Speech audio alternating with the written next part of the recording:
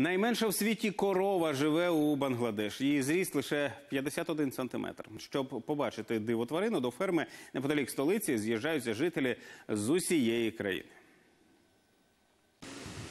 Це Пхутті Рані. Їй майже два роки, але корова досі важить 28 кілограмів, а її зріст ледве перевищує півметра.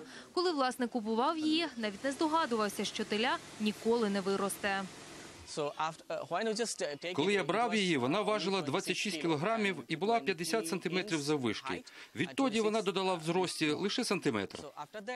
Тварину оглянув ветеринар. Каже, низький зріст і невелику вагу рані успадкувала від одного з батьків карликів. Окрім фізичних особливостей, корівка також має нетипові звички. Полюбляє обійми і коли її беруть на руки. Вона дуже мала їсть порівняно зі своїми родичами: 100 грамів зерна і трави зранку, і стільки ж увечері. А ще вона ніколи першою не підходить до інших тварин, а тим паче не провокує їх на конфлікт. Через таку сором'язливість довелося побудувати для крихітки окремий вольєр.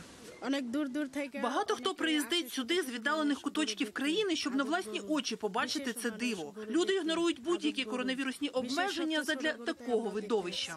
За останні кілька днів рані відвідали майже 15 тисяч людей. Вони фотографуються з нею, частують смаколиками. Тварина вже встигла стати зіркою соцмереж.